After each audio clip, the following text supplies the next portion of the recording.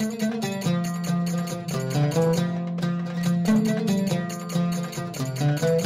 everyone, it's Mal from Sparkly Belly. Last week you saw how I made this lace halter top for dance practice. This week, continuing the practice wear theme, I'll be making this cute ruched skirt that's built into my flare pants. It's comfy and doesn't shift or fall, so it's perfect for dance lessons, yoga, or even daily wear. Let's get started.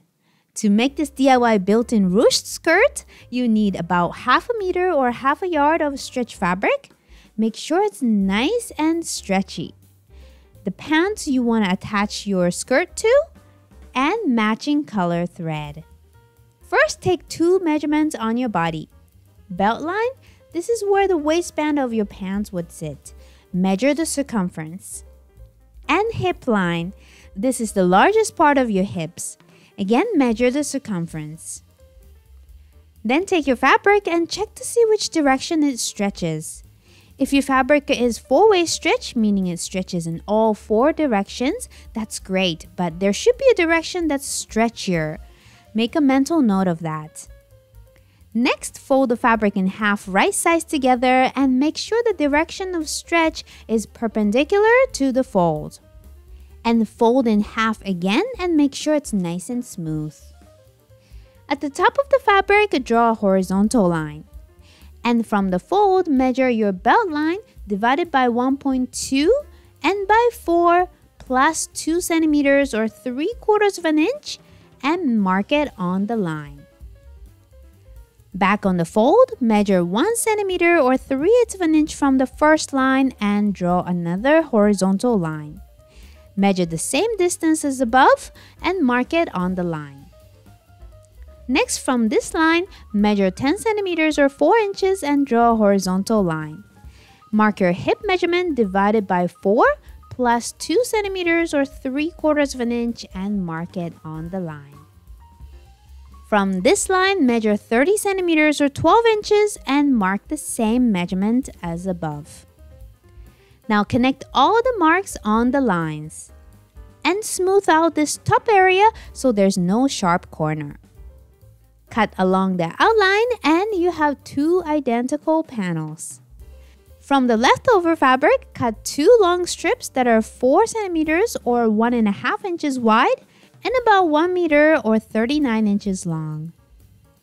And that's it! Let's start sewing. Take each of your skirt panels and fold 1 centimeter or 3 eighths of an inch from the bottom edge towards the wrong side. Do a zigzag stitch to keep the folds in place. Then place the panels right sides together. Do a narrow zigzag stitch with a 2 centimeter or 3 quarters of an inch seam allowance along side seams. Then at each seam, fold the seam allowance flat like this and do a narrow zigzag stitch right next to the raw edges. This creates channels for the ties. Next, take your long strips and fold each one in half right sides together. And do a narrow zigzag stitch with a 1 centimeter or 3 eighths of an inch seam allowance. Trim the seam allowance down to about half and turn each one right side out. I'm using a small safety pin here to do this. Simply attach the safety pin to one end and guide it through the tube. Place the safety pin at the end of the tie and from the bottom end at the side seam, thread it through one of the channels and take it through the other channel. And tie the ends into knots. Repeat on the other side and even out the ties. And the ruched skirt is ready. You can just finish up the top edge and wear it as is but here I'm going to attach the skirt to my pants. So remove the waistband of your pants or if you're making a pair from scratch, don't attach the waistband. On your skirt at the top edge, find the center points in the front and back. Mark them with pins.